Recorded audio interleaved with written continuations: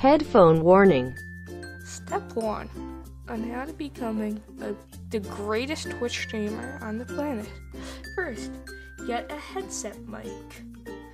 And then, make sure you put it right into your mouth so it should sound like this.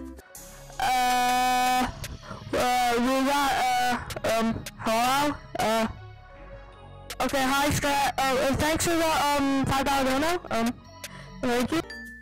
Step 2 Put your microphone right up to your keyboard. And then this is what it should sound like.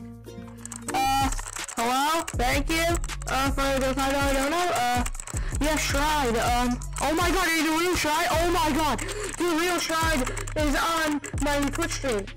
On a Fortnite video uh, that's popular, comment saying, if you follow my Twitch, I will give you a shout out, but you really won't, and you can get free Twitch followers.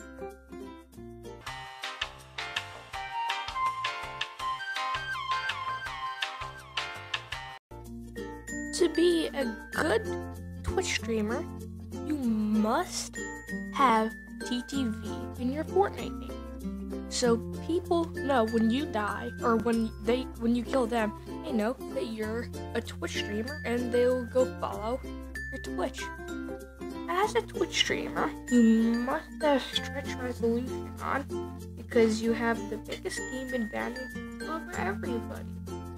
This video was inspired by YouTuber NoahsNoah. Uh, there will be a link in for his video and his YouTube channel. So please go subscribe to him, even though he has like a thousand billion more subscribers.